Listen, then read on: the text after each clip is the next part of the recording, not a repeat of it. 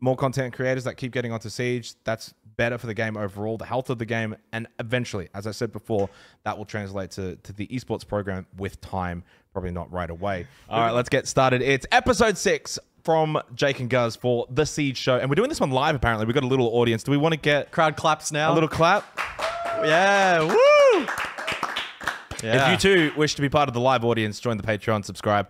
Uh, I think there's a couple in the audience that probably aren't subscribed, so Yeah. Well, look that at us a little bit of money. Looking at you guys. There is one that is though. Yeah. So yeah. So obviously behind the curtain, we've just wrapped up day number two of the Oceania League. So we've all kind of just come back to the studio for this particular episode. It's been uh, a, a fun, fun week, fun couple of days, especially back in the studio.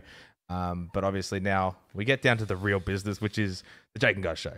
Yeah, look, it's been a, a long couple of days, um, and we'll be completely transparent. We actually recorded an episode before we worked, and it was trash. So now we're re-recording it at like twelve thirty in the morning. But That's that's okay. the kind of commitment you can expect from us. Exactly. That's Yeah. what you can expect uh, on this particular show. So uh, let's get into sort of today's agenda. Now, we've kind of got a general segment and then we've kind of got an e- esports segment. We'll start with the general segment, which is the rise of content creators playing Rainbow Six Siege. And uh, I think that's probably been the case now over the last week to two weeks, I think, for the most part. Now, I think a lot of this is probably a flow on effect from Jynxzi, what he's been able to do, the notoriety that he has gained has probably seen others go, hey, why don't we go and try our hand at Rainbow? Yeah, there's been a big influx. Uh, Doctor Disrespect, TimTheTatman, um, Nickmercs, I think, Nick as well. Yeah. Yeah, the, the whole bunch of the that crew have been jumping on amongst others. And look, it hasn't just been a one and done. They've all done multiple streams, you know, five, six hours plus. The sentiment amongst them and you know, from the, the clips and stuff that I've seen and the content they're pushing out and, and the comment sections, etc., has actually been, you know, quite positive. And the other asterisk on it is that, as far as I am aware, and you know, 99% confident it's the truth, that these are not being paid activations. They're not mm. like a hashtag classic ad or whatever. Ubisoft isn't Yeah. Shilling out for them to be playing the game and saying nice things about it. They're genuinely interested. They're giving it a crack. They're sticking with it. And I think that's obviously very positive for the game and the community. It's also positive for Ubisoft because they don't have to spend any money. That's always good. There's a lot of other game titles that would be spending a lot of money to get these kind of content creators playing their game. So they get it for free, free advertising. And I, I hope that in some ways it has a solid flow and effect, obviously, to the game itself. As we've spoken about in one of our recent episodes, the, the health of the game has been pretty good. The Steam chart numbers are showing positive growth. A lot of that can be attributed to many things. Obviously, seasonal launch, Jynxzi's been a big factor. These new content creators getting on board. So it's kind of this snowball that's taking shape. Mm. And hopefully it just doesn't crash and burn and it keeps getting bigger and bigger. That's really the goal of it. So, and then the next part of that then would be can that translate to, say, esports, for example? Does that bring viewers to the esports program? These people that obviously are watching the content creators might then play the game, like the game, then start to watch the game competitively. That's probably not something we would see much of now because that's more of a future thing. The uh, the effects of seeing these people play the game and then their viewers playing the game themselves to then translate that to esports watching. that- That's something that's going to be more down the road. Yeah, and I guess the next natural evolution, especially if Ubisoft are genuinely wanting to back them in, would be to get them co-streaming or get them out to these events in person. You know, we see that a lot in Valorant, for instance, where you know, like Champions, for example, they have like dedicated booths Yep. where content creators, streamers, personalities actually co-stream the the events live in person. Now, obviously, these streamers make a lot of money you're pulling them away from their primary source of income. You're going to have to supplement that. They're going to, you know, require you to to pay up big for Yeah. that kind of uh, marketing. So you have to try and make that trade and and that that balance. uh, Is it actually worth it? Um, because at the moment, Ubisoft can kind of just ride this wave. Yeah. They're getting all this free marketing and exposure. Um, but maybe you know, Atlanta possibly.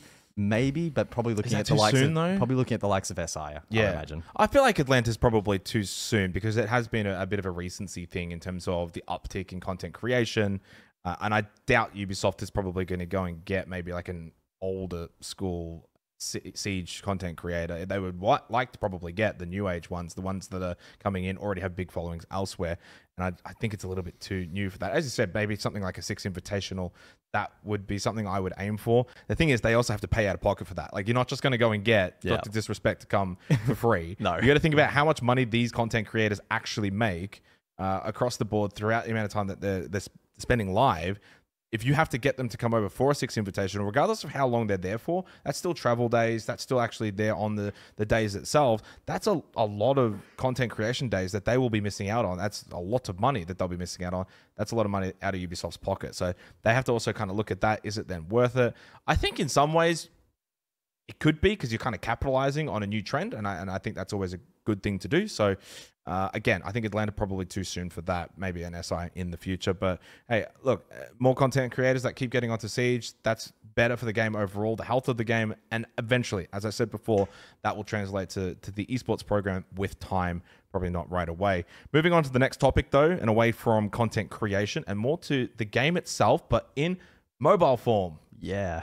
We love mobile games. um, and we love mobile esports. Yeah, get on it, Ubisoft. But no, uh, R6 Mobile recently soft launched in a couple of territories, namely Canada and Mexico. Um, I believe it's on iOS. I'm not going to pretend to know the ins and outs of the mobile game, as PC is my haven, but it sounds like the game is doing okay. Um, unfortunately, it looks like maybe their decision to release it in the way it has has backfired a little bit. The community sentiment in some of those posts that I saw, you know, were generally a lot of people complaining, why can't I play it yet? Why isn't it available Yeah. in my region? But to be fair, and to play devil's advocate for Ubisoft, and of all the places I saw it, I think it was like LinkedIn. I saw the CEO of Ubisoft come out and say that this is pretty much like their first proper go at a AAA mobile game. So I assume the way in which they're releasing it is to try and be better safe than sorry. You don't want to be dropping it in the you know the hugely popular regions like you know, your India's and your China's, etc. Yep, and Southeast you Asia. absolutely stuff it up because you're probably going to find it very hard to build that reputation back up. Yeah, it makes sense. I think you're going to probably want to maybe steer clear from what would be your bigger segment straight away. You want to probably go and test the waters, and, and a, what better place to do that than say a Canada or a Mexico? That they're not going to be your prime movers in terms of the product once it's launched. So you can kind of just go test the waters, see what needs to be fixed from there, uh, and then eventually, obviously, they will want to be targeting India and Southeast Yeah. Asia and China quite extensively. That will be their big markets. That's where they'll actually want to launch the game probably first. Like when the game is actually launched, launched, it'll it'll 100% hit those markets straight away. Um, the thing for me is what's going to be the flow-on effect in terms of the PC version as well. Do you see an uptick in people watching the esports program, or even just Twitch in general, or do they find that maybe they get introduced to the game via mobile, then eventually go to PC? Yeah. Is there going to even be a correlation? I haven't really probably looked into the actual mobile to PC pathway numbers and, and with the if that's even a thing because at the end of the day in a lot of these regions they don't have access to computers in the way that the western world does so for them mobile is it that's all they've got so uh, this is a, an untapped market for Ubisoft in terms of their own product for, for Rainbow Six Siege, and it could be a lot of money. So maybe maybe it's not a player flow-on effect, but it could actually end up being a money flow-on effect that the money generated from Rainbow Six Mobile could then actually go towards the PC game as well. Yeah, potentially. Or it could be completely segmented and they don't really cross pollinate at all. It could be like completely separate. I don't know. I wonder what the effect of like PUBG Mobile has been on PUBG. I, I would, I I, it- would argue that it kind of didn't really positively impact the PC game much at all, did it? Yeah, I mean, it was it was I guess somewhat separated, and um, I, I will say there was probably a belief within PUBG that for a long time PUBG Mobile was actually propping up PUBG PC. Right. Um, now with PUBG PC, you know, largely coming to an end, the, the way that its esports program looks, the game is obviously just not really doing all that particularly well. PUBG Mobile probably is now seeing its revenue stay within PUBG Mobile, I would imagine, right? So, uh, and I also think it's a completely different thing because PUBG itself is just largely strong in the eastern countries anyway. It's not that strong in the western country uh, countries. So I, I think that it's probably a little bit of a, a different game to, to probably highlight in a comparison point of view. I kind of understand what you you mean. I think this is more like the flip effect, despite the fact that PUBG started out on PC. Once mobile came out, that just completely blew the numbers out of the roof. I don't see that happening with Rainbow Six Mobile. I think Rainbow Six itself on PC is strong enough, still in the Western countries, that I don't think mobile would necessarily just overtake it. Um, I don't really have much more to add. I think we've uh, You're not a uh, you're not a one out. mobile connoisseur, Guzz. if there's less walls on mobile, you know what? I might fucking be. Uh, I'm getting a bit sick of the walls at the moment. Um, moving on. Yep. Uh, I believe the next point is the signature skins, right? So Ubisoft released a bit of a teaser tweet um, before uh, then going on to the actually launch the skin, and you know, is alluding to signatures with like a, a side eye emoji, and there are a lot of people. Like the conspiracy theorists are, were out in arms thinking that maybe we'd get like player signatures Yeah. and all kinds of crazy shit. And it turned out to be a pretty boring, generic, black and white logo universal skin. Universal skin is great. I don't really like the idea of being locked into one particular gun if I want to support my favorite team or whatever. So that Mm-hmm. was nice. Unfortunately, though, the design was a little bit uninspired and it cost a thousand credits, which is a little bit pricey in my opinion. Um, but I don't want to harp on the negatives all too much for this discussion. I saw I saw the community reaction and thought, okay, looks like people agree with you know at least me. I don't know about you. Signature items in the game, however you want to format it, however you want to release it, is a really great idea to support players, to support orgs. Imagine there was like a set for the SI winners, or every Yeah, SI player or got their signature in the game. If we had stickers in the game, for example, you know, following the CS route, or Charms. now that we have player backgrounds or charms, however you want to format it, I think having signatures, having players or content creators or whoever else in the game is another really exciting revenue stream for Ubisoft, but also I think players would enjoy it as well. Yeah, I think it's a win-win situation when you kind of put it into into that sort of facet. Like you're looking at sort of just continuing to put focus really on the players themselves, which is I, I think something that esports in general probably lacks is the sort of player focus. I think maybe CS probably does it just about the, maybe the best. And um, when you think about sort of esports in general, a lot of the time it's that team focus, right? It's team sets, it's team skins, it's team charms, it's team backgrounds, but there's no real player focus. And I think this is something where, like, yeah, signatures in the sense of not necessarily player signature, but signature skins of, say, players and their own created designs, maybe with it either with a team element or without the team element, regardless. I, I think is something that they can definitely look into. And obviously, the best way to probably bring that into the fold straight away would be say a team wins the major, all the all the five players kind of like have their hand in, in creating a skin of some kind that represents themselves winning the major or something along those lines and to not make it generic. Like please like the there's enough generic skins there's enough generic Yeah. charms there's enough gener- generic backgrounds. And i understand when you bring in a system like when the backgrounds first came in if you look at all the original um, portraits like they're all just super shit. Super shit, shit super generic. And that's okay because in some ways you're, you're just starting out the system and only just now we're starting to see some teams actually create some really nice portrait backgrounds. But I, I would like to see Ubisoft definitely take this signature skin uh, motto and, and really expand on it throughout majors, throughout SI, and, and really get the most out of it. Obviously, works for them, and then it would work for the players and therefore the teams as well. Yeah, give us actual signatures or some kind of proper like, go- player just go crazy collaboration with it. Like, at this point, like you know, I'm not even saying necessarily. We spoke about this in one of our first episodes regarding like the the, the marketplace and like, do you get stickers? Do you you know bring those kind of things into Siege? How would that even look?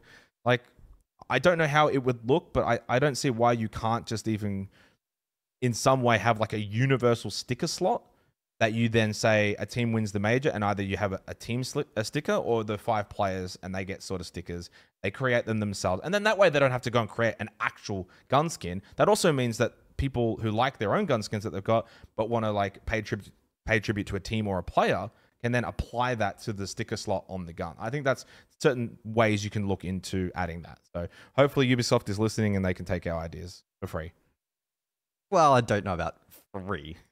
We, we accept royalties, or they could subscribe to our Patreon. They could. They could do that.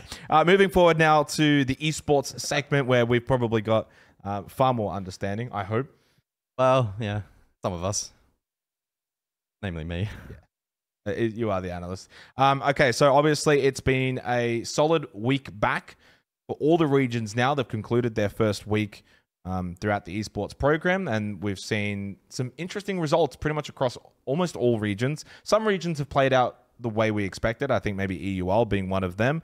Uh, others definitely have not played out as expected. Maybe NAL being one of them. We'll start with EUL first, and we'll get up our grading system, which we said at the end of our last episode we would um, bring into the fold. Now, this is a combined grading system. This is you and I, and the way we sort of have viewed the first week and the teams themselves and where they're at. It is a power rankings. It's not just necessarily based on the standings themselves. Obviously, some some leagues actually just have groups. They don't even have the standings, so it's a little bit difficult. Uh, for EUL, we've got the Wolves in the S tier, Koi down in the F tier, and the rest making up A, B to C. Um, I think the, the most notable one there is maybe VP down in C. Uh, oh, I guess. I think I put VP maybe a little bit higher than they deserved in the predictions. I'm trying to remember. Um, I'll flush it up in the edit and make myself look silly if that was the case. Um, so yeah, unfortunate there for VP. Um, I guess the big storyline, at least for us being from Oz, was Koi and their very disappointing entrance into the league 0-7 against Wild to kick things off. And then they had that 6-8 uh, banger on Clubhouse against Secret, unable to kind of just get across that final hurdle. Jigsaw, he did okay. He was relatively impactful in that second match. But yeah, for Koi, overall, that roster not quite clicking early on in this group stage. I guess maybe, yeah, besides VP and, and on a more positive light, the big story was the Wolves in their two massive wins 7 4 over M&M and also 7 4 over G2. I mean, basically, a perfect start to the stage for them. Um, they actually play, as of this recording, in about the next two hours where they'll take on Heroic. I imagine they'll be heavy favorites. I imagine they should be able to get the win there. Heroic are in the dumps at the moment. That's maybe another Yeah. story for another time. I've seen a lot of stuff on Twitter about uh, the the state of heroic at the moment, and honestly, maybe they were probably worthy of F tier in. Uh, well, if they hadn't have pushed G2, they probably would have. yeah, they pushed G two a little bit to OT, so that's obviously a noteworthy performance. But yeah, overall, heroic not in the in the best of shape. No, certainly not. All right, moving on to our next league, league, which I imagine will be NAL, and we'll we'll flash up the list here. And I don't even need to see it on our end because I already know on the list that's up at the moment it's wildcard in the S tier. What a start! Living up to their name. They come in as a wildcard kind of team, and they just completely shake up this, the scene immediately. Massive wins over, uh, well, I got the massive win, I guess, over Soniqs, and then from there, respectable wins where they won comfortably in terms of round differential Yeah. against uh, the others. Uh, and obviously, Soniqs, not only after then losing to Wildcard, then lost another one to Luminosity too. So we've got them completely in the F tier. And I think when we kind of go back to our original power rankings for making the major, it's largely kind of what we've got. But you would have swapped Wildcard and Soniqs completely around in terms of the S and the F tier. So that has just put the NAL on its head. Yeah, I mean, quite literally, wait, what an insane start to the league, and Soniqs just being a little bit slow out of the blocks, and it can prove costly in, in this kind of format. So we'll see how they go about bouncing back. That's probably going to be the exciting storyline for them if they're able to make a run home. Uh, the next team to probably I want to talk about M80 because I was red hot on them Yeah. for the major spot. I was you cool. were, yeah, you weren't quite as hot. Um, they obviously had an okay start, you know, seven two DZ, Massive start. take then- that. But then they kind of dropped the ball a little bit. OXG 5 7. Very close result. OXG, very respectable opponent. So I don't want to be, you know, dismissing OXG's efforts in that game. But I would have seen M80 as the team to pretty swiftly kind of push that sort of opponent over. So Yeah. yeah, they get a B rating, but M80 well and truly in the mix. It's not like it's doom and gloom or anything. Yeah, like before we get to the next region, though, in hindsight, looking at this, I, I do wonder if maybe we went a little high on, on DarkZero, considering it was a pretty comfortable loss to M80. I think there's a world in which you could have said instead of A, maybe B, to basically join them when you kind of summarize and, and, and sort of finalize uh, NAL for week one. Wildcard, amazing. Uh, Oxygen, pretty good start. Everyone else mm, definitely made a stumble at some point within the first couple of play days for NAL, which is always good for a league, I guess, from a viewership perspective. Um, but for North America itself, obviously, some question marks there about uh, how dominant some of those teams can actually end up being. Moving on to the next league, though, uh, we've got Brazil, which also, again, this is becoming a bit of a common theme, but there has been some shakeups along the way. Certain teams that have dropped the bundle a little bit. Liquid down into the C tier, guys. Ooh, yeah, that's a little bit harsh. But look, I think rightly justified. They find themselves in fourth in the standings, so they're in that red danger zone off the back of a 2-7 loss Hmm. to E1. Hence, we've bumped them all the way up to S tier because you can't 7-2 Liquid, one of the scariest teams in the world, and it's the only game they played. being respected. Yeah, and um, and then going on to 8-6 OT win against Keyd, which again, obviously a win. They bounce back after, you know, a disappointing day one. So the next day they come out of the gates, they're able to get two points. But overall, compared to, you know, where we expect Liquid to be in a top heavy league, they didn't live up to that expectation. And then working our way down, NIP, FaZe, W7M, the big three other orgs slash teams in the region. They find themselves in the A tier. Um, not not particularly bad starts, not particularly amazing starts. Yeah. But I mean, NIP number one, FaZe two, and then obviously the win for W7M in Group B. Yeah, I mean, big win over Loss. Uh, Loss won seven nothing, so an absolute beatdown. That was the only game we saw from Loss as well. So they're in the F tier because of that. Uh, the fact that they lost to a team that I think, when I go back to my Atlanta power rankings in terms of whether or not they can make the major, I'm pretty sure I had them almost roughly the same level as NIP. For NIP to then 7-0 them, and that's the only game we've seen from Lost. That's F tier in my mind. So again, a little bit of a shake up to sort of begin, and you know, somewhat to reiterate in a way. It's play it's play day one, two. You know, it's it's week one for a lot of these regions. You can give them some leeway. But that comes down to the league itself. There are certain leagues where you don't get much of a leeway, and there's others where you do. And this region coming up here, in some ways, doesn't have too much of a leeway in some fashion as we bring it up. It is Japan. Uh, and straight away, I want to go straight to F tier. Now, firstly, F4 Fnatic. Oh. But they're not in the F tier because we had expectations for them. It's just the matter and, in how they lost. Minus 13 round differential from three games. It's it's quite bad. And the other one is Varrel. Massive to see them out of the group stage, considering um, what we expected. Is, is it Varrel or La Vega? It is a Varrel. Varrel. Sorry, I don't know why I had La Vega. We'll get to them later, actually, It's, from it's, Korea. But it's 1 a.m. it- You're, you're forgiven. it's somewhat similar, I think, actually, though, between the two of them, because Varrel is a team that I thought would not come in leaps and bounds into this stage, but maybe see improvement. And yet now they find themselves completely out of the knockout stage. They have to go through the last chance qualifiers.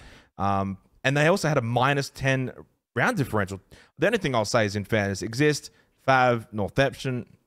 No, actually, there is nothing. They probably should have got something from that. And to, Yeah. to lose all their games, to have that kind of round differential for a team like Varrel, yeah, it's quite disappointing. Yeah, definitely a backpedal considering that they were very promising coming out of stage one, and the expectation was for them to, Yeah. you know, maybe not walk out the best in the in Japan or anything to that extent, but to be highly competitive. They didn't deliver that.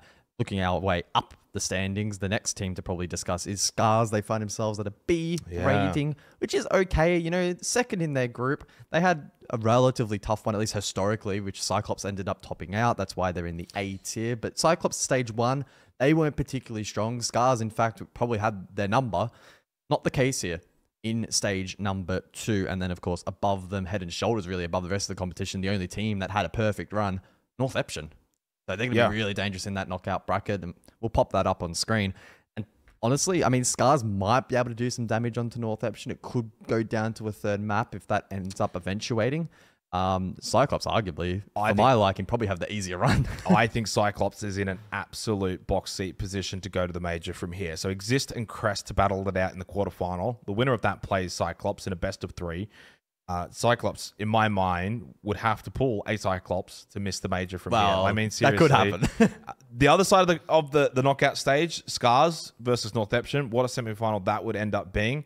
Um, and I think obviously those three in particular, once again, as they were, um, well, not I guess probably not Cyclops. Cyclops typically over the his, history in Japan considered always one of the better teams. I think that they'll go to Atlanta along with Northeption and Scars. For me, it's just a matter of one or two of, oh, sorry, one of Northeption and Scars have to obviously do it in a different pathway. One of them has to miss out from the knockout stage. So uh, it'll be very curious to see uh, how that sort of unfolds. I would say to very much uh, tune into the Japanese broadcast to, to see how that all plays out because it's going to be a fun finish. And of course, then the grand final determines who goes straight to phase two. On to Korea, uh, the kind of sister region, I guess. And now I can actually talk about La Vega because they're in the F tier. They've bombed out the group stage uh, and they've disappointed me greatly. A terrible, terrible run despite the start.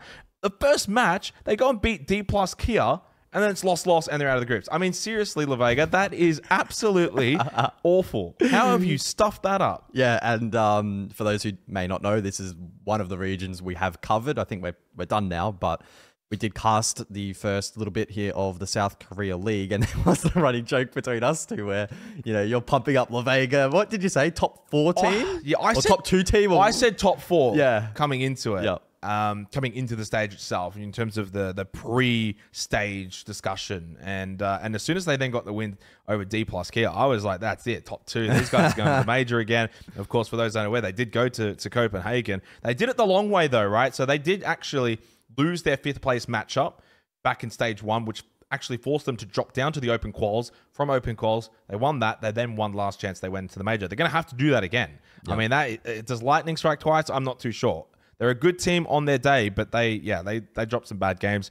Uh, unfortunately for Blossom, despite some pickups, um, once again, kind of rough stage. In terms of the, the top end, though, S stands for Sandbox, and they were Yep. absolutely perfect. Nova, of course, has, has filled in for Envy Taylor. From what we've heard, the, the rumor is Envy Taylor has a hand injury of some kind. Uh, I'm not sure of the validity of it or the extent of it or anything, but Nova's been really good. Yeah, and Sandbox have been really solid, and that's why we've put them in that S tier position. Didn't have that flawless run, or the team that didn't have that flawless run, of course, being D plus. That's why they got knocked down a tier. But also in that A tier, Talon Weeble, two teams. I guess maybe less expectation on Weeble, but they both surpassed the expectations that we outlined for them. Weeble actually coming out of the gates really strong, and I kind of see a world in the knockout bracket where if Weeble can connect the dots and catch D plus on a bad day, provided they take Talon down, I don't know. They could be cooking something up. They certainly could be. We'll put the knockout stage bracket uh, on the screen here. And I think the lower side, Sandbox, have got a bit of a free ride. Somewhat similar to probably CAG in, Yeah. in Japan. Um, BSG before and after. BSG, obviously, we've seen in the region for quite some time. They looked a little bit shaky in the group stage before and after. Nice new team that is, has a great start. They get to uh, you know try themselves out in the quarterfinals. But yeah, I think Sandbox will have a free run. Talon and Weeble, though, that is the, the one to watch in the quarterfinal. That should be a really fascinating matchup. The winner of that then gets to take on D plus Kia, and I think from that point, uh, yeah, as you said, there is sort of that dark horse. I don't think D plus Kia are as infallible as Sandbox. I think that they're somewhat susceptible. I can't wait to sort of see how that plays out. So, but for both Korea and Japan, the knockout stage has some interesting matchups. And, uh, and for both of them, probably one team should be getting a free ride in CAG and Sandbox. Uh, on to the next region, though. It is the Asia League. Now, this is combining both Southeast Asia and South Asia. And the way we're ranking it is pretty much as the leagues combined. Like, we're not just necessarily ranking South Asia separately. Yeah, yeah, Um, and as you can kind of see here, Bleed Fury absolutely on top, both 4 and 0, both massive round differential, basically farming Southeast Asia. Direwolves not too far behind them. Um, and then we've given a little bit of a token of appreciation from South Asia for us, what? That's an interesting, a token of appreciation. Jeez, God, we're a charity. I don't know about that. Um, oh, look, I'll just piggyback off your point because I know pretty much exactly what you're going to say. Give a shout out to um, our brothers over in South Asia, Hasib Warriors, renowned. Throwing them in the B tier. Now, clearly quite strong in, in South Asia from what we've seen. However, this is combined. If we had, a, if we throw them into the Lions Den, like you know, a Bleeder or a Fury, I don't think they're going to come out the other side in one piece. But yeah, shout out to them. I guess the next big notable team to then talk about going down the line is going to be No Cap in mm-hmm. that C tier. I had mixed emotions, mixed expectations for them heading into the stage. I thought, who knows, maybe this team could kind of just come out of nowhere, do like a Kelton's Knights from Oz and just like stun the league. Unfortunately, they were the ones that got stun locked and they didn't really get much done in the first week. No, they certainly didn't. And uh, obviously, Elevate in the F tier as well is um, quite startling for them. Zero and three start, minus 14 round differential. It's a shocking start for them. In fairness, the only thing I could say is they've played, I think, arguably the three best teams to begin with. So Yeah. I'm sure they'll pick up points over in week two and, and sort of start to shoot back up the standings, but they're not making top three. And that means they'll, they'll eventually have to go through open quals to get into last chance quals and, and all of that. So uh, a bit of a longer path for Alabay, I imagine. I think the same then, obviously, for No Cap. And the rest of that F tier is mainly due to the fact that a lot of those teams have been largely uh, uncompetitive, or for some, even in South Asia, just straight up not even showing up. So Oh, don't even. Oh, don't even start. I mean, we work the South Asia broadcast, and you know we get it. We're understanding the infrastructure sometimes can be really, really frustrating for the players to deal with. It's you know some- often out of their hands, but yeah, delays, substitutes, forfeits, power I mean, outages every, after every round. whatever you can think of, it's happened in that league already in the first week or whatever. It's So been a lot of fun. That's it's been rough. Those teams are also playing like overall. The, the, the game is trending towards you know the TDM meta. Mm-hmm. South Asia is like on a whole another level of just uh, pure chaos and randomness. So yeah, Fortunately, though, a league that has come on leaps and bounds to begin week one, and it's our very own Oceania League. best in the world. honestly, at the moment, it's been some really good quality siege, and, and we're not just saying that, considering we weren't necessarily in high praise to begin when we kind of began the show uh, for Play Day One. We were uh, a little bit sour. We probably anticipated that this stage was going to play largely similar to Stage One. And boy, were we wrong In across the way. board in a good way. The level of siege that we've seen, and you can see obviously on the tier list, we've got no one in the F tier. At the back end, now I will say, I will say, there's a, there's asterisks on the asterisks. there is an asterisk here. We may have had Bliss in the F tier. They've somewhat redeemed themselves ever so slightly on Playday too. But uh, clearly, regardless if they're in the C or in the F, a, a bit of a rough start for them for a team that we had absolutely making the major in a league that you can make no mistakes. They've made mistakes. Yeah. Well, maybe you can make mistakes with how closely compact it's been, and that's the storyline going forward. Now, can Triple R, can Rapid Response Regiment, God, I hate that name. Um, can they seat themselves in the S tier and can they stay there? And we're going to get an answer to that next week. Um, so that power rank is going to be very, very interesting. Triple R taking on Bliss. The winner of that, pretty much in the box seat for the major, um, because of how that how head to head works, etc. So Bliss have kind of scathed away with how they've been able to get through so far with three points. Had they have lost again today in OT, and that almost was actually the case, then it would be a very much a very, very grim discussion for them. But they've kept their head above water. And looking at the rest of the league, I mean, there have been some standout performances. The likes of Carlton's Knights, the washed up stack of guys who haven't really touched the game, they had to dust it off in order to load into the server for this competition, to take down Bliss. And to have, you know, a respectable performance Yeah. tonight as well. Shout out to them. They've, you know, done their job already for entertaining us. They obviously did end up losing to Circular Spheres, albeit in a close one. They even had regulation match point in that mm. final game to, to collect all three points. Had they done that, boy, we really would have had to take notice of them. Still, like, they're pretty high in the power rankings for CS, just able to hold on to that A spot. They are second in the league, four points, just the two behind Triple R. Their matchup, actually, with Triple R is the very last game in the very last play day. So if we do have to wait Could be a major match. to find out whoever wins that matchup goes to the major, it's the last game. So that's at least. They've done a they did a really good job on the schedule. If they had the, the We- foresight for that. Well, look, we may have complained a little bit about the schedule initially because all Bliss are actually playing all their top matches in the first two weeks, which, Yeah. as as you mentioned, they play Triple R next week, and we were a little bit worried that they were going to end up uh, maybe winning all of those games, and then the last three weeks were going to be quite. Uh, not as fun. But that fortunately is no longer the case, and and fortunately the region itself has, um, as I said, improved dramatically. And we're talking not just gunplay, but also team play, team synergy uh, has been, I think, far and away improved from what we saw in stage one. Which you know, again. Stage one in itself for Oceania probably was the weakest we'd seen the region for quite some time. Yep. And speaking to a lot of the players in the player interviews, they feel like there's been massive improvements here for stage two. Not necessarily saying it's the strongest it's ever been, but absolutely in a much better healthy state. It's been a lot of fun. It's been very entertaining, good games, and I think good storylines that are that are developing. So obviously we're a little bit biased. We're always going to be homerism on it, but um, I, I would definitely say if you're watching and you haven't tuned in too much to the Oceania League, we played eight games, five of which were overtimes. Um, all really tense, close finishes in a league that are all best of ones. Not ideal for the players, but great for the broadcast. So I would highly suggest tune in, watch the VODs um, for Oceania. yeah, and I mean just opening I guess it's more of a global discussion, opening it up a little bit. We know that it applies to OS specifically, but why is it so close? Why is it so competitive? And that's kind of something we've been picking at a little bit on on the desk and on the broadcast. I am under the impression that a lot of it has to do with obviously there's a lot of great new up and coming teams, players, whatever, that have worked really hard to get in the position they're at. But I think it's also a combination of where we're at in terms of the game and the meta and the map pool.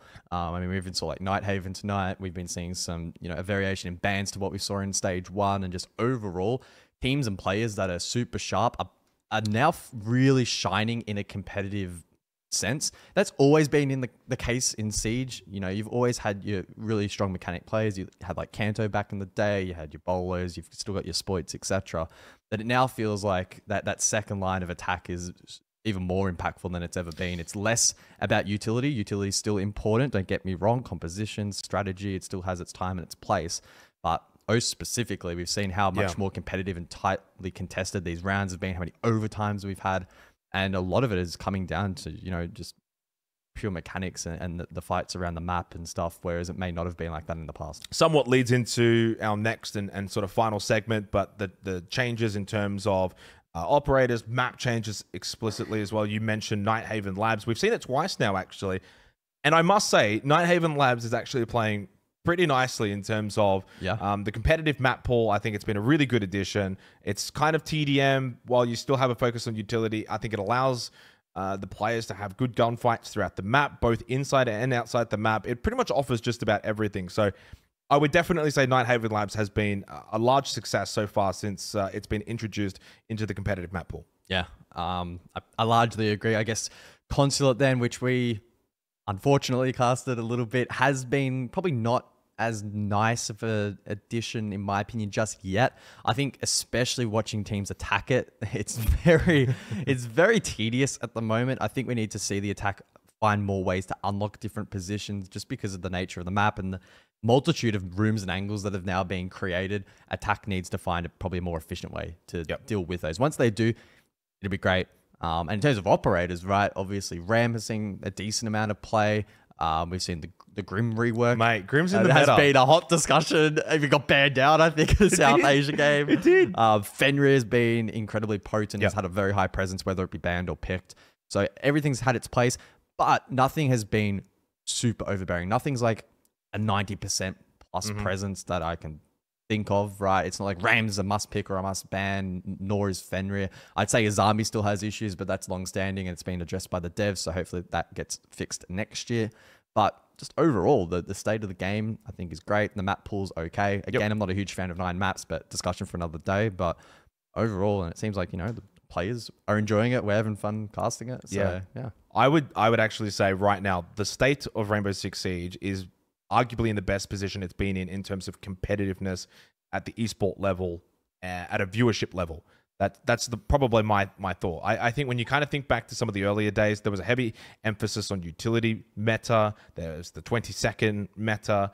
Uh, so if you kind of look at it historically, it's always been more focused on the utility, and may, maybe there's nothing wrong with it being a little bit more sort of you know gun focused and sort of the the actual raw skill of the mechanics being now the the ever focus we don't have to see players be so overly reliant on particular operators which is leading to more picks I mean, at the end of the day, if I'm seeing a Grim get banned, then anything is up to be to be banned at this Yeah, point. yeah. So, um, no, I think it's been I think it's been really really good, and I think the game is trending in a good direction. That's the main thing for me. So, um, very happy with that, um, both for operators and for the maps. Coming to a close though for episode six, um, I will add we've got obviously uh, a little bit of Patreon exclusive content to film.